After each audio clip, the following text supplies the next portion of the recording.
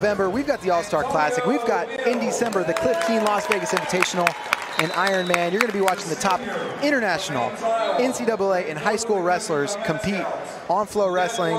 You're going to want to keep it locked to Flow all wrestling season. It's only one place where you can watch the best high school, college, and senior level wrestlers, and that's Flow Wrestling. That's right. And speaking of the best high school wrestlers, we got 120 pounders coming up. Here we go, action underway at 120 in the blue with red trim Super 32 finalist singlet, Antonio Mills. And he's taking on Christian Castillo in the USA in the blue, and there's a shot Mills. Castillo taking him off the mat with an underhook. Stall call against Mills.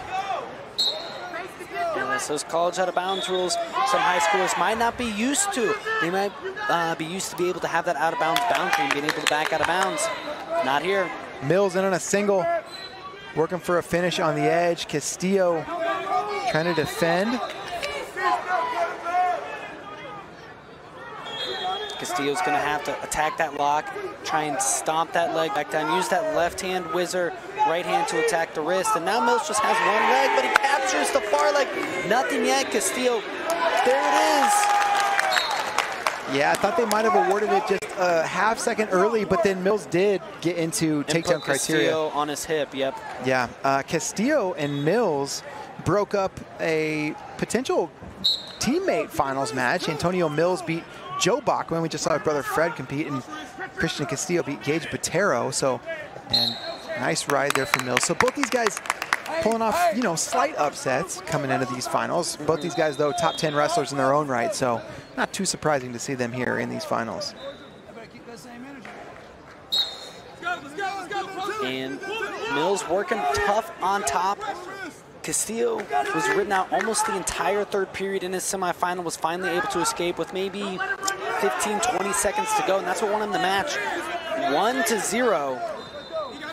Mills looking to come in the crotch, get big. Castillo turns, faces, and picks up the escape with 38 seconds to go in the first.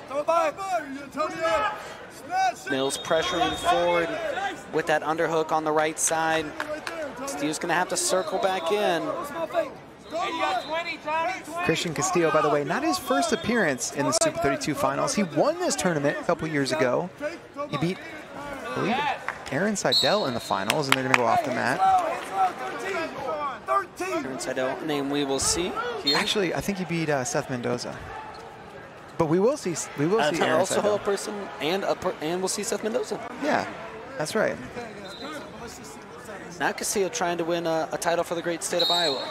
That's right. If you're used to seeing Christian Castillo with uh, Arizona next to his name, not anymore. He was at Valiant Prep throughout his high school career, but now headed to Ames, Iowa, because he's going to Iowa State next year, and uh, being cornered now by coaches from both Arizona and, well, Iowa by way of, of Oklahoma. Chris Perry in the corner for Castillo, and Castillo on bottom in the second period, working to escape. He's up to his feet, fighting hands.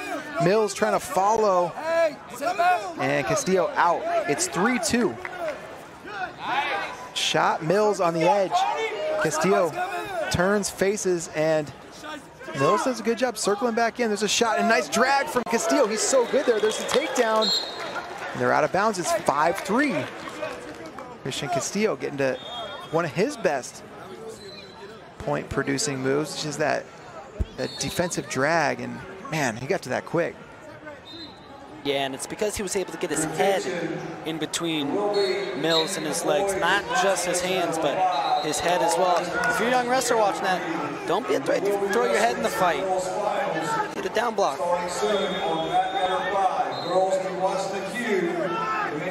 Castillo and Mills back to the hand fight. Minute 15 to go in the second. Mills has continued to get to this right side underhook, but hasn't been really able to use it with much effect as of yet. Castillo with that head position, making that underhook hard to hard to manipulate. Single right there, Antonio. Same side, single. Let's go, Tony. Mark. Knee pull. Knee pull. Yeah. Underhook to the shot now for Mills. Castillo locked through the crotch, and they're on the edge, so both guys going to want to be aware of where that out of bounds line is. And stalemate with 43 seconds to go.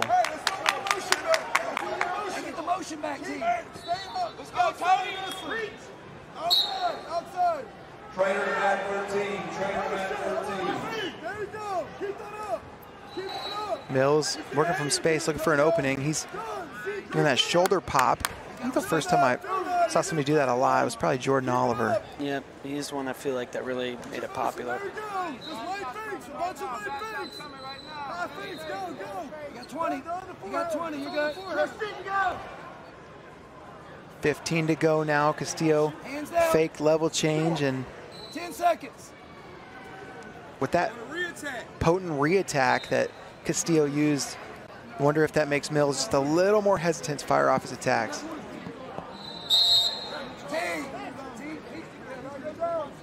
And I, men- I mentioned how Castillo uh, was almost ridden out the entire third period in his semifinal.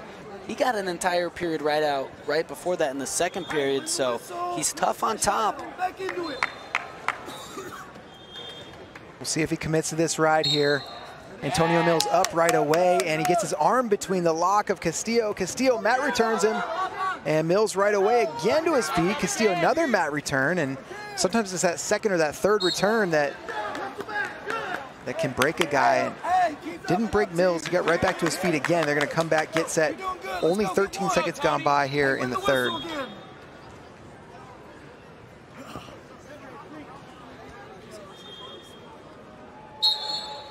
Mills to his feet.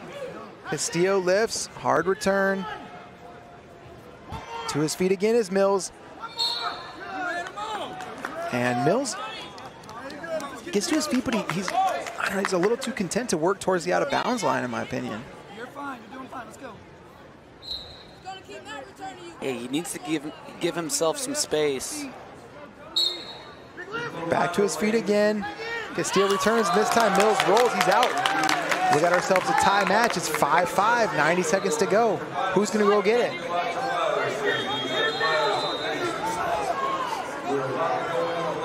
Castillo taking Mills towards the edge of the mat. There's an underhook throw by shot Mills. Castillo looking for that go behind and out of bounds. Action is the call. No stalling.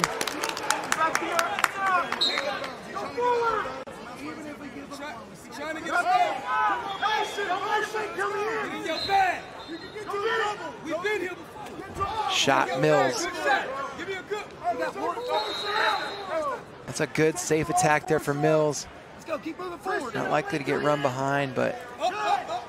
also not going to get real deep. And now he is deep. He's in on a single, trying to cut across double. Castillo with it.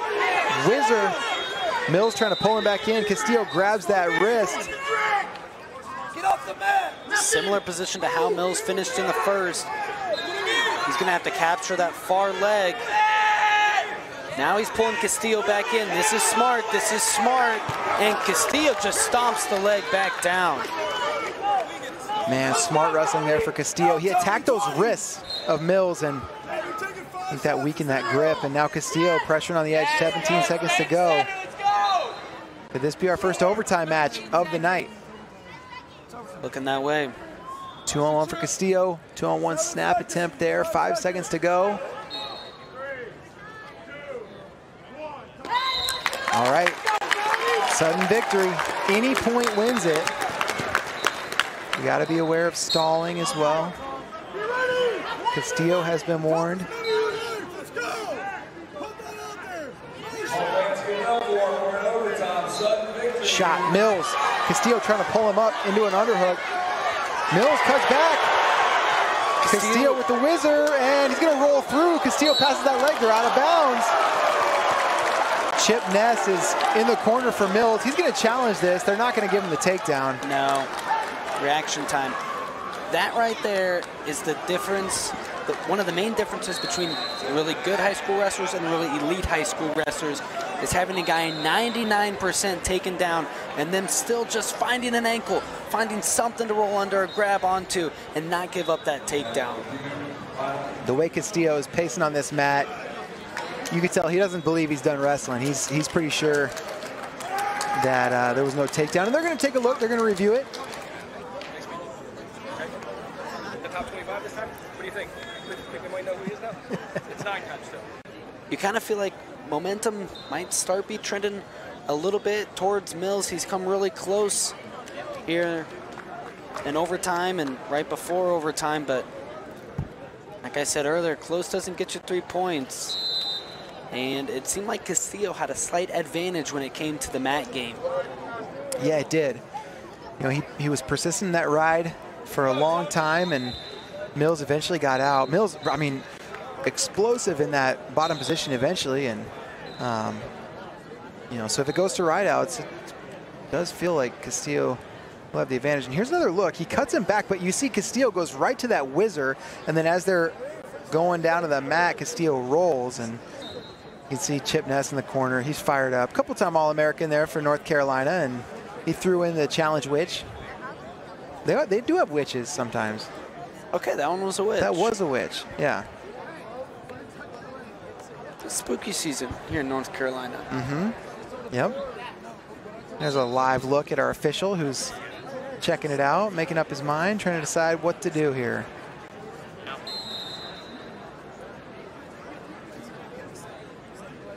And I think, you know, if, if you're Mills, you want to get the takedown in this 41 seconds, assuming it comes back, no takedown, but you can't get over eager and forget about the down block reattack of Castillo. Yeah, absolutely. And you know, zooming out, there are some some bigger picture implications for this match because both Castillo and Mills were a little bit, you know, further down the rankings from from a couple of the other guys and it's one thing to make a run to the finals, but you want to be the guy that, that gets it done and wins and gets your hand raised. And so, um, you know, a lot rides on this challenge, obviously, because match is over if if they overturn the call. But bigger than that, I mean, if, if this match is not over, you're wrestling for your spot in the rankings. And here we sit. All right. So, call is confirmed. No takedown. And here we go, 41 seconds to go. Sudden victory, any point wins it. Underhook for Castillo, he's marching forward. Mills, level change. Ooh. Well, slide by action and Mills hits one of his own. Neither of us, neither of these wrestlers appear to be tired whatsoever. Don't want to go to OT, let's go. No, they're they're plenty. They've had plenty of rest mid-match, and out of bounds. Ranked first in the country. She was the under 17 Pan Am silver medalist. Looking like rideouts, JD. The under 15 Pan Am Yep, so referee will flip his coin for first choice. her opponent from Mount Lebanon. Mills is going to go underneath first. This year's 15 and under Pan Am See Chris Perry telling him, return him hard, bounce him. Back, Chris. Watch his back, Chris. And you gotta watch out for that standing Granby that Mills hit. Yeah, there he is. Puts that hip right down to the mat, just like Coach Perry instructed. And Castillo trying to keep him in bounds. Mills trying to get out of bounds, and now they're off the mat. And, you know, earlier we talked about Mills maybe uh, a little too quick to go towards the out of bounds, but in this sudden victory or this this ultimate rideout period, you know, you kind of want to have that out of bounds as an option for a restart. So Castillo returns. Mills trying to get back to his feet. He's back up. Castillo looking to return. Five seconds left. And there's the return. Now Castillo with his opportunity on bottom. 5-5 if he can escape and avoid giving up a takedown. He's going to win this. And Mills is just going to cut him loose and give himself 30 seconds to work for the takedown. Okay. Interesting choice. He did ride Castillo for a bit in the first. He also may be thinking about, you know, earning a point via stall call. If he can shoot Castillo out, That might earn him that stalling. And Castillo just going to try to stay right here in this chest wrap, stay inbounds. Yep, Mills is in. It's interesting. Mills is trying as hard as he can to get out of bounds, which is fleeing, but is sort of not the spirit of the rule. I don't know. Mills moving forward. Castillo's got to be aware of the stall call. And there it is. That's going to tie the match. I believe. Didn't he get hit? In I think that's just his first. was it Mills that got hit earlier? Okay, so That'll there do it is. Christian Castillo, 6'5". He's your winner. He's going to get his second Super 32 belt. This time it's at 120 pounds.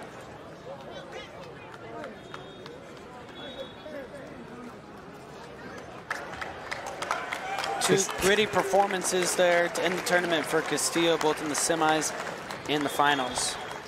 Yeah, Christian